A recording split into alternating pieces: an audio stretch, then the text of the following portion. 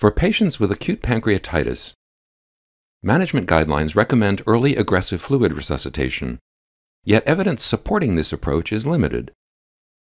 A new trial compares aggressive resuscitation with moderate hydration in adults with acute pancreatitis. In this multicenter open-label randomized controlled trial, 249 patients who had been diagnosed with acute pancreatitis in the prior eight hours were assigned to aggressive or moderate resuscitation. With the aggressive approach, patients received a 20 milliliter per kilogram bolus of lactated Ringer's solution over two hours followed by infusion at a rate of 3 milliliters per kilogram per hour.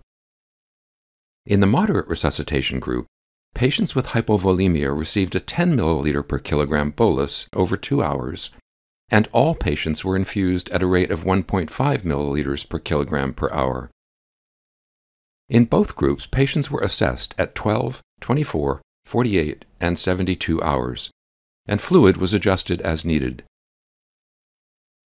The primary outcome, the incidence of in-hospital moderately severe or severe acute pancreatitis, did not differ significantly between the groups, at 22% with aggressive resuscitation and 17% with moderate resuscitation.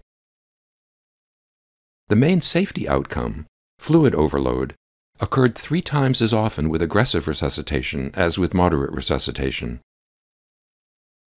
Secondary outcomes, including organ failure and local complications, did not differ between the groups. The authors conclude that among patients with acute pancreatitis, aggressive fluid resuscitation did not improve clinical outcomes and was associated with a significantly higher rate of fluid overload. Full trial results are available at nejm.org.